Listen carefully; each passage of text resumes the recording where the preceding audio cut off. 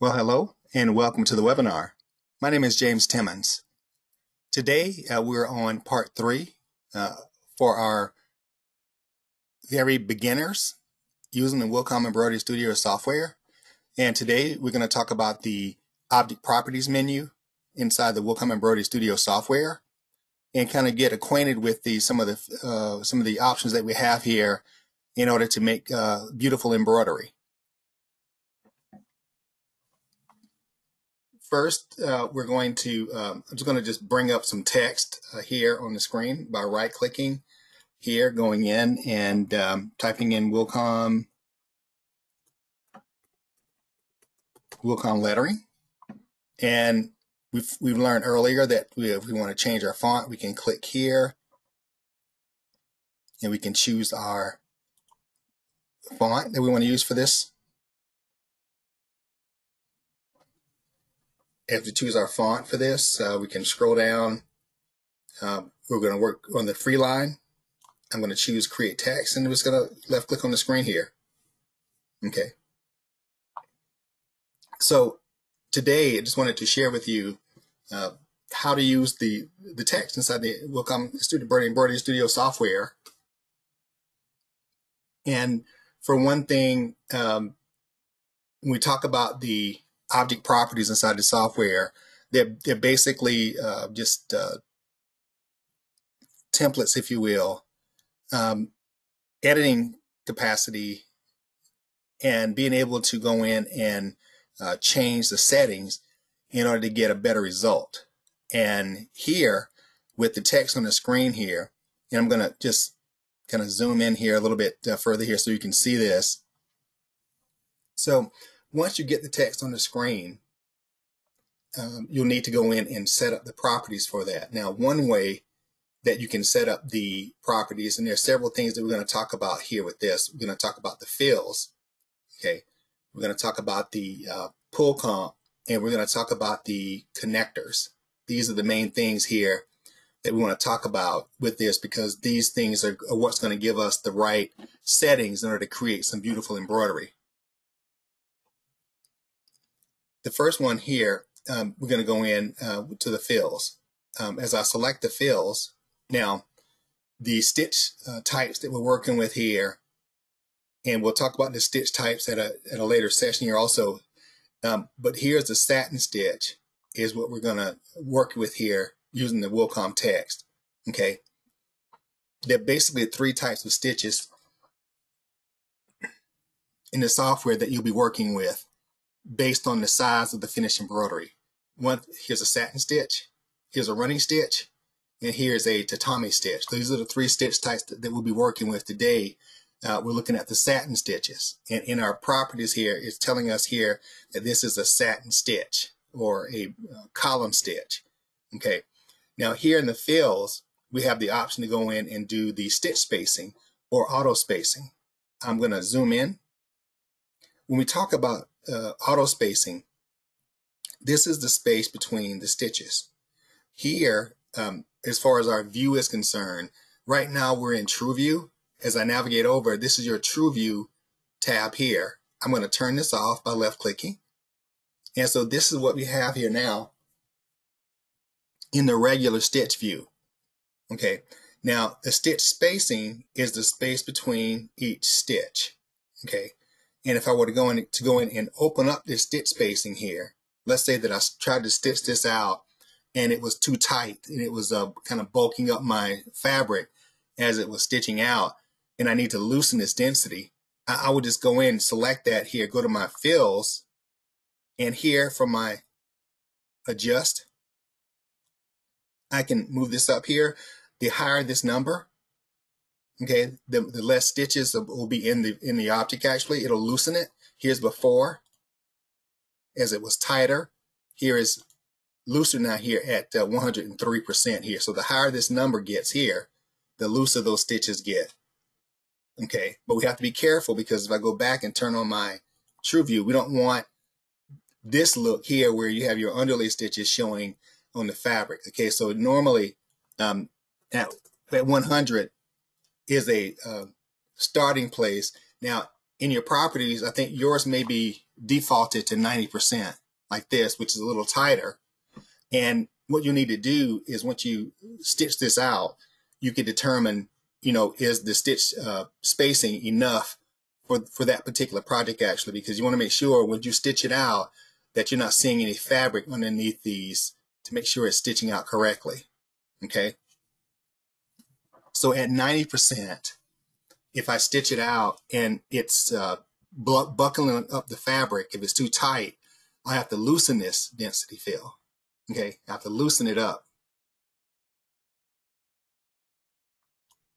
Okay, if this is too loose and I'm seeing fabric through, this means that I have to go in and I usually use 80%.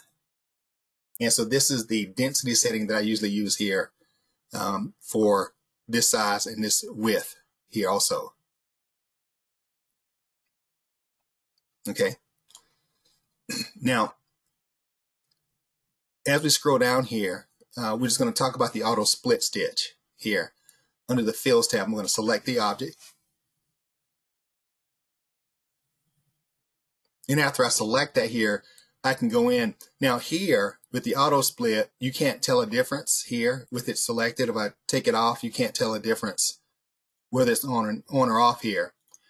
Um, the length of the satin stitch here, the width of it, here, the default is at seven millimeters. And what happens is, once you get a column stitch and it's too wide for regular stitching and and it forces your machine to slow down, the speed to slow down, you can go in and you could, um, in order to continue to use the satin stitch, you can do an auto split stitch. For this small size here, um, we're not going to need that auto split stitch. What's going to happen is as the size gets larger, let's say that um, I have a size here on a jacket bag that's going to be um, 12 inches. Okay. Now here, I want you to look at the lower left side here. This is the stitch count currently now. I'm going to undo it. This is the stitch count at a smaller size here. Okay. Um, this, this, as I increase the size of the design, okay, the stitch count is also going to increase as well. Now, using um, fonts like this in this particular scenario, now you have a, uh, I'm going to give you a scenario of how wide a column should be before we have to change that stitch type to the next level. Okay, so normally, and I'm going to navigate here, I'm going to um,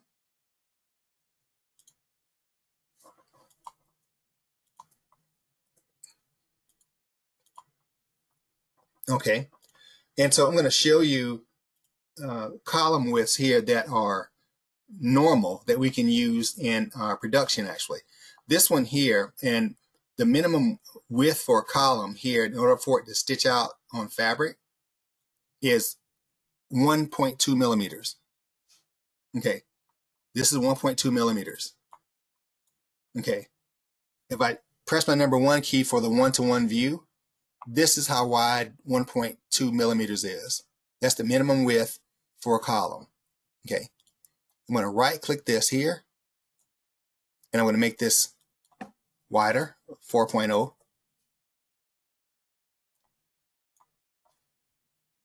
Eight oh.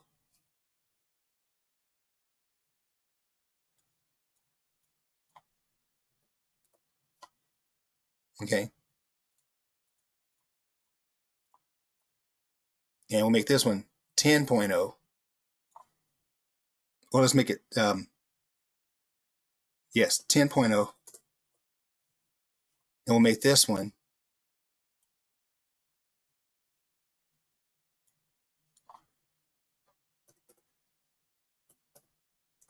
Twelve point one. So as far as using the uh, satin stitches inside your software, again, uh, this I'm going to show you a running stitch also. I might, might, as well put this on here also.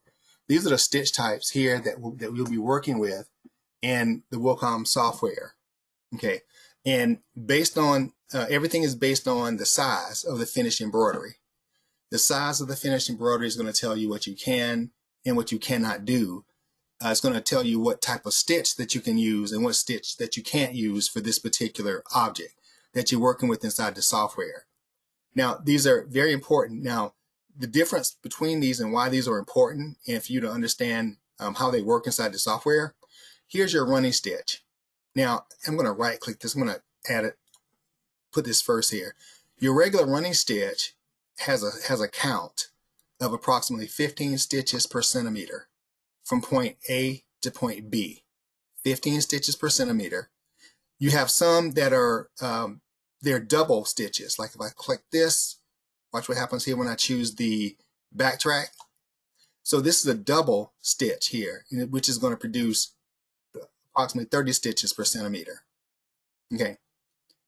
Your smallest column stitch here is going to produce 50 stitches per centimeter. Okay. A thicker one is going to produce about the same. You know, um, might go up about maybe 60. Um, but here, um, it also, if it gets any larger than that, now it's going to be stitching approximately uh, 70 to 70 to 120 stitches per square centimeter once it gets in between this and this here. Okay, between 70 and 120 stitches per centimeter. Now here with this one at 8, this is considered a long stitch. And you see here, as I zoom in, it's got a, a kind of a, a, a split in it like this. That's what this auto split stitch here is for. It's set to 7 millimeters though. Anything past 7 millimeters is going to do a split in order to um, reduce the possibility of a thread break uh, or stitches that are too long for a satin stitch or a column stitch. Okay, if I click this off here, it'll I can still stitch this straight, straight across like this at eight millimeters wide, which is now the stitch is getting really wide. Okay, and uh, at this point here, this is the, now I can go, if I make this, I mean, I've done some 10 millimeters wide. Rarely, but here, um, I can go 10 millimeters wide. This one here at 12.1, this is the maximum width for a for a normal uh, for regular for most embroidery machines. The stitch length, the maximum is 12.1 millimeters wide. This is the maximum. And this means that at this point, if I try to do a satin stitch longer than 12.1, uh, only the Barudan machines do a 12.7. So if I do try to do a satin stitch without using the auto split stitch like this, longer than 12.1, this is what's going to happen. Okay, this is 10 millimeters. This is beyond or this is right at uh, or this is too wide for me to try to use a regular satin stitch with this okay? And see see what see see what you see here also um and look at the types of lines that are on the screen now. This is solid lines this means your your embroidery machine is still stitching at regular speed okay even though it's a long stitch this, when you see the dotted lines, these are jump stitches. This is when your machine is going ka-choo, ka-choo, ka-choo. It's going from straight across because this stitch is too wide for a regular satin stitch. Okay, I'm going to go back. I'm going to click on my uh, true view here. Now, I can't see that here from looking at the true view, but just knowing that 12.1 is a maximum stitch length. So at this point now, I can no longer, unless I'm going to use the auto split stitch here, I can no longer, in, in some uh, in some instances or a lot of instances, you don't want to use the auto split stitch at this point. It's too wide for a column stitch. So what do I need to do? At this point here, it has to be done, uh, as I select this here, it has to be uh, done as a tatami stitch. Okay. And so, um, so right click here and choose convert. I'm going to break this apart first. And now I'm going to go, I'm going to choose convert. I'm going to change this into a, a tatami stitch here. Now, and this is what it looks like now. Because I can't make a satin stitch this wide without using the um, split for the auto split. Now I have to change this stitch type here to, uh, I have to upgrade it here to a tatami stitch. And this stitch is uh, 200 stitches per square centimeter. So I only use this stitch when I absolutely have to. Okay, only when I absolutely have to. And this is and this means that the more stitches that it generates is going to in, increase your production time also. So you want to use this stitch type here as less as possible. If it's large enough, uh, you have you don't have a choice. You have to use it. If the uh, design and the objects are large enough, you have to use this stitch, and that's what this stitch is designed for: large fill areas. Okay. And with the and by showing you this now, so right now, so I'm fine as far as I don't have to use the auto split stitch with this. Uh, it's going to change though if I increase the size of this, or I go in and I uh, change the font. Let's say right now, if I choose a different font, okay. And again, as as large as this gets, as long as you see the visual here of how wide the stitch can be in order for me to use a satin stitch, you're fine. Because here, this is in between these two, so I can still, it's still safe to use a satin stitch for this. Okay.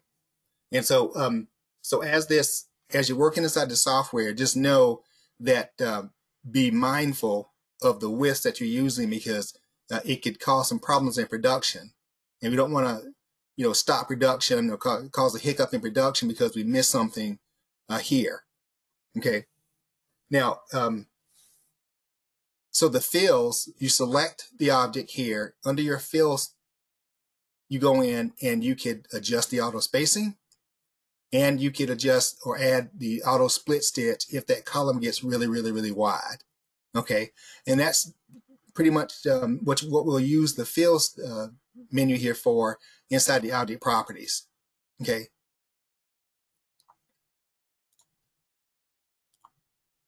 I'm going to undo this here to take it back. The next tool I'm going to talk about, the next Docker here, um, I want to talk about is the pull comp settings here. The pull comp is a Docker basically that allows you to adjust the pull compensation of a design or your text here on the screen. And you can add um, a column width to increase the column width of the design. And here with this, as I select this on my screen here, right now the pull compensation, the default here is 0.17 on my on my screen here basically. Pull compensation and column width are two totally different things. They're not the same at all. So you can't use pull compensation to make a column wider. It's only for the pull and stretch on the fabric once it's stitching in production. That's what the pull compensation for. And usually, um, if I were to increase mine, uh, i usually never go above 0.2. Okay. Again, this is for the stretch and pull on the fabric. Okay. If I want to make this bolder, I can choose column width here and I can adjust the column width. I'll start with 0.5 or 0.5 or 0.05 to 10 to 15. I can go all the way up like this it's going to make the columns bolder by me using the column width if I want to increase the width of a column. So you'll always use the column width to do this with here actually. Okay. Very important to understand the column, the difference between the column width and the um, pull compensation. I can even take this negative like this. Okay. So you have that much control uh, pretty much on your lettering and, and incre increasing the size of it and improving the thickness of it, especially if you're going to stitch something on a cap. Okay. And that's what that does inside the software. It helps you thicken up the columns. Okay. This is a great tool here, again, because uh, lots of times when you need to go in and increase, uh, the width of a column, basically. You want to be able to do it in a simple way here. Here, just by going in, right clicking on this, going to your object properties and choosing pull comp. Okay. One major difference between these two items here is this. Let me show you here. And I'll just grab this one. I'm going to right click over here and move this over there. And I'm going to right click this again to do a quick clone of it. It's like this. I'm going to zoom in here and I'm going to take off the true view. Now, for these, I want to go in, I want to change the uh, underlay here talk about this in a few minutes here. And I just want to use the edge run underlay stitch for this. So now, uh, to show you the difference between uh, the pull comp and the column width, if I were to select this item here and go to my pull comp and thinking that the pull compensation is going to make the, the columns wider, if I increase this, I'll make this 100, 1.0. I'm going to undo this and I'm going to redo it. I want you to see what's happening here. Pay close attention to what's happening and what's not happening. Okay. So the pull comp here, uh, it, it did, uh, it went out and because it's based on the pull and stretch on the fabric, like for the difference between stitching on canvas and stitching on a, uh, a towel, basically, this overstitches the object, basically. It overstitches it if it were going on towel material, it needs to overstitch in order for it you, to have a column that's wide enough and that can be seeable on the actual fabric. So that's what the pull comp does here actually. Again, is for the pull and stretch on the fabric as it overstitches. Now, we're going to do the same thing to this one, but this time we're going to choose the column width. And I'm going to also make this 1.0. I'm going to press enter. Now you see this Okay. So you see the difference. On just for the pull compensation, it it it pushed them out, but it didn't the underlay stitch didn't move. So on this object here, if I were to stitch this on fabric, on a towel, it's going to do something like this. It's going to look like it's going to look just like this. Why? Because it has no protection on the borders here. Here, the borders go directly out where they should be, protecting the border here for a nice smooth, uh, crisp edge. But here it didn't do it. So whenever you want to increase the width of a column, you're always going to use the column width. Okay? All right. So the next thing we're going to do here is by taking off the um, true view here, uh, we're being seen some objects here on the screen. I'm going to also press S, or I'm going to navigate here to the show stitches. And um, when you look at these letters here, you see a little zero here, and you also see a triangle. The zero is going to always represent the beginning, the starting point where the machine starts to stitch. And it's going to add a lock stitch here to lock it in. That's where the zero is here. It's going to start stitching here. It's going to go through all of this, all of these segments here. And here is a stop with a triangle. The triangle will always be defined by a trim or a color change as it goes to the next object, which does what we call a tie-in stitch. And at the end here with the triangle, a tie-off stitch to lock, it has to lock it in and lock it at the end, at the beginning and the end in order to keep these stitches from unraveling. Okay. And this is what they look like here without the stitches shown on the screen like this. Okay. I'm going to press S here again. Now, what we can see here also, we can see the dotted lines here. And again, these represent uh, trims because this is the same color. And you'll also see these um, on color changes as well. Okay. You'll see this dotted line. So now, um, how do we go in and how do we fix, um, I'm going to select the true view here again.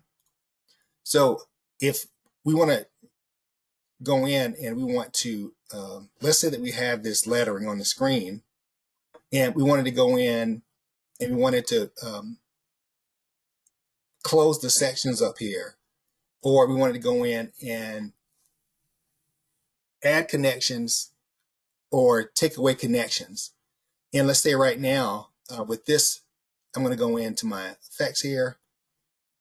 Right now, with the true view showing, you don't see any connection stitches here underneath. You only see them when you take off the true view with the trims here. But with the true view turned on, here, whenever there's, uh, whatever you see here on the screen with the true view is going to stitch out the same way. So you're not going to have any, so there, there, there are trims going on between these letters here because there are no connection stitches joining them if I were to right click this and do a quick clone of it here, and if I were to change the size of this, let's say let's say I wanted to make this um, 3.4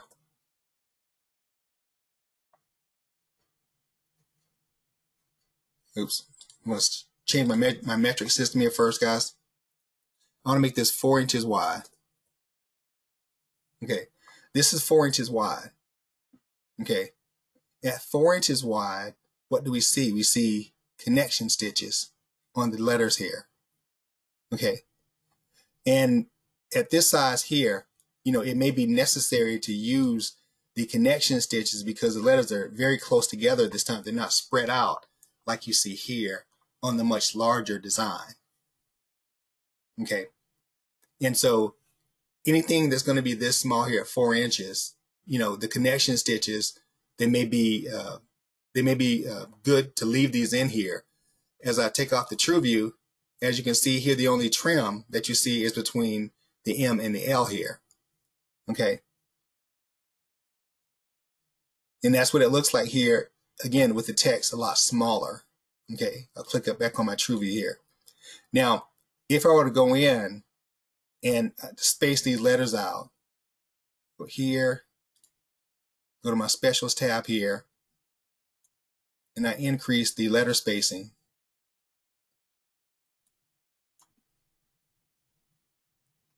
Just a little bit to 13.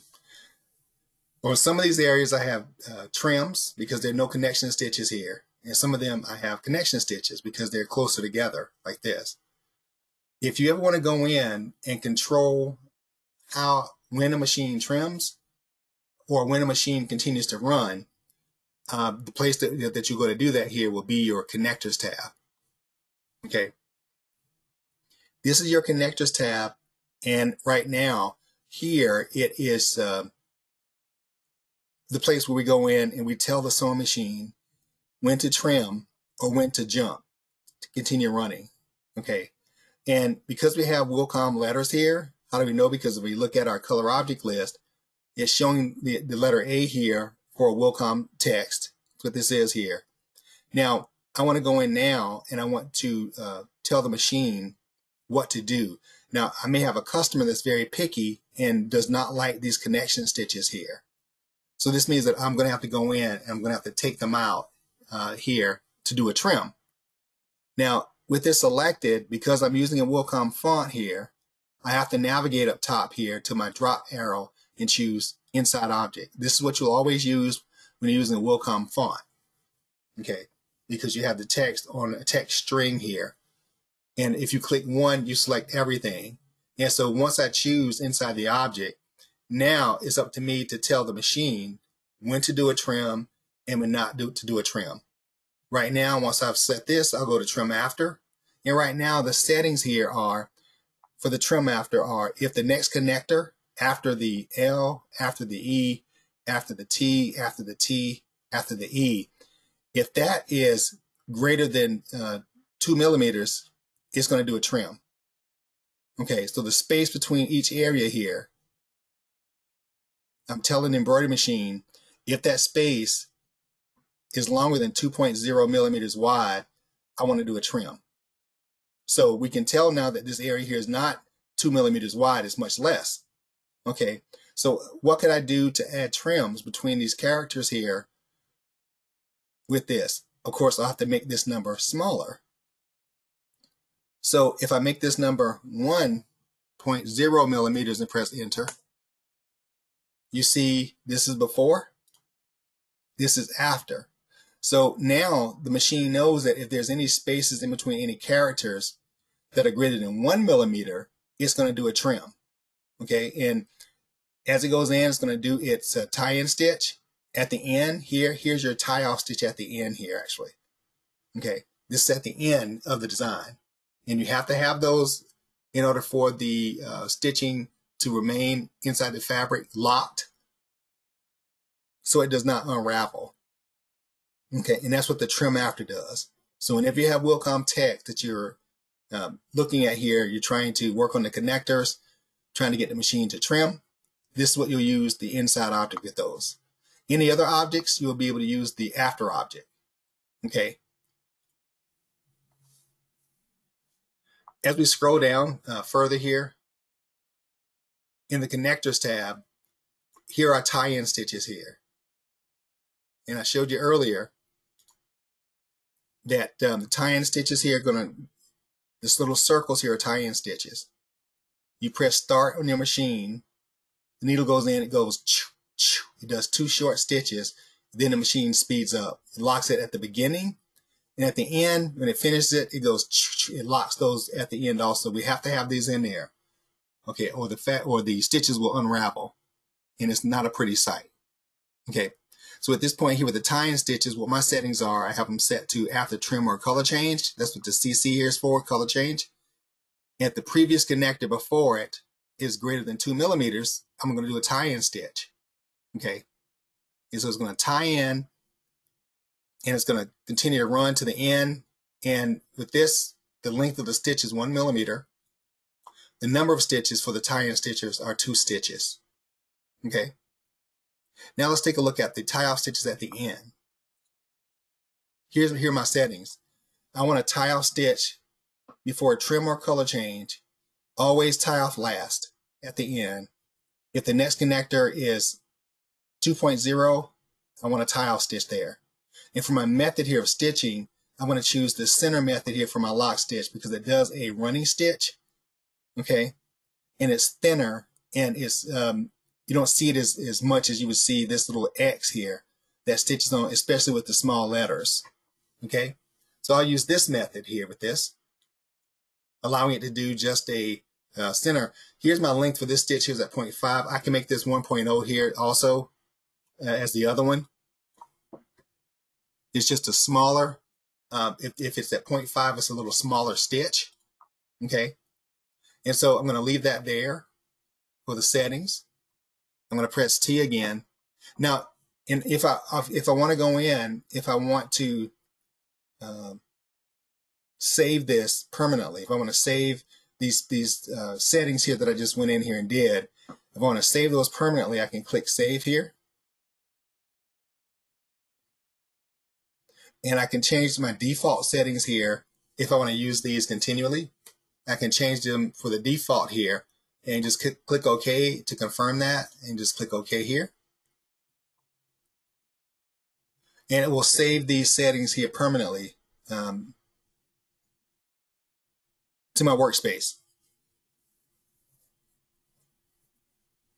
All right. And I can use those again. So this, in a nutshell, is the connectors tab here and I explain to you what it does. We'll get more into detail with this a little bit later, uh, but I just want to give you just a brief description of what, what this does for us uh, in improving the uh, quality of our stitching. Okay, here I'm going to zoom in. Now, um, the next um, tool we're going to talk about here is the underlay.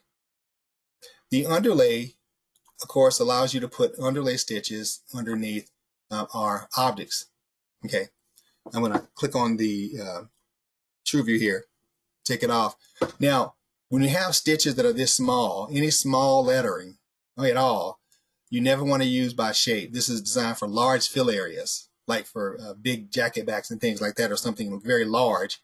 Uh, we want to always do by segment when we're talking about uh, lettering, because each letter, as I press S here, some of them have three segments. Here's one segment here, here's two, here's three.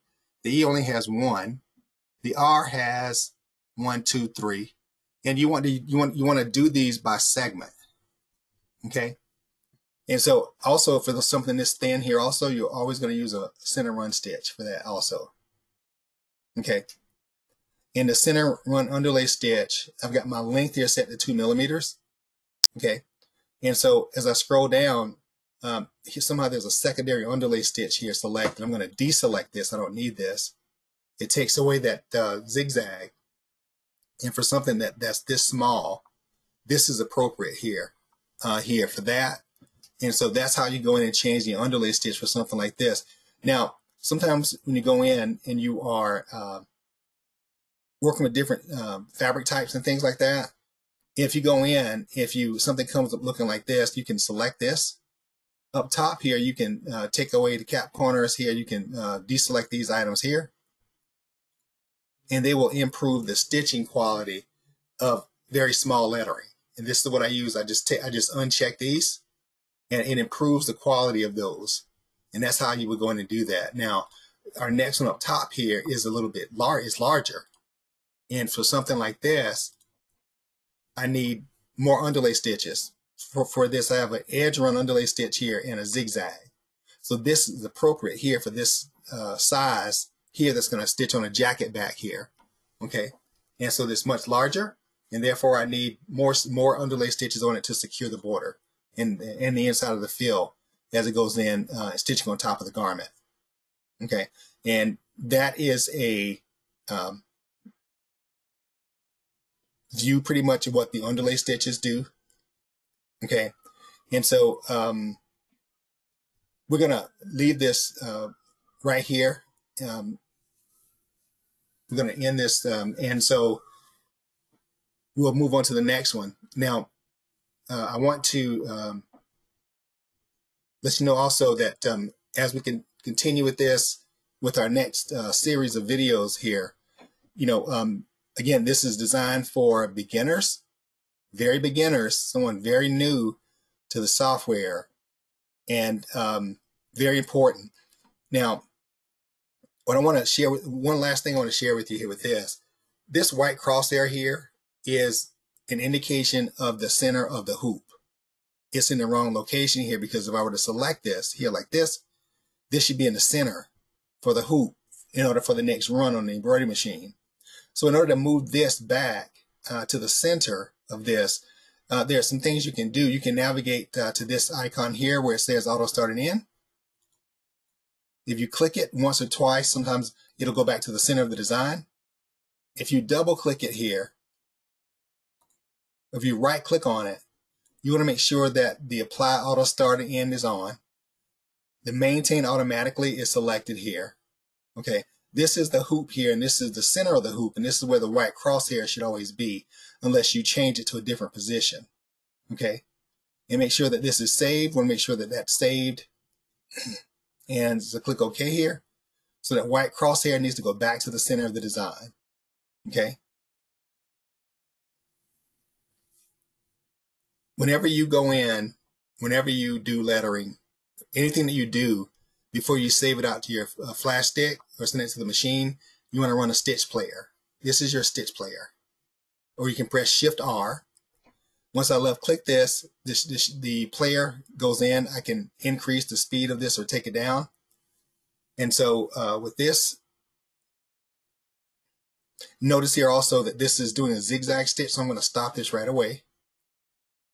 And just checking here, so this should be a zigzag here for this because it is larger. Okay, I'll go back here to my stitch player. So as I go, I'll speed this up here also. And depending on if this is going on um, very thick fabric here, and therefore the edge run and the zigzag was is sufficient for something that's this size here actually. And once it stitches this out, I'm going to slow the speed down here on the uh, stitch player. This is a very, very important tool inside your software.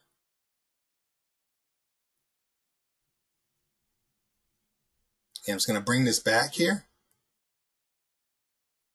And when it stitches a smaller text, you'll see how it stitches that smaller text with the correct underlay stitches.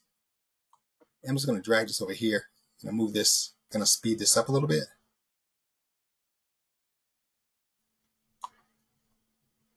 and here.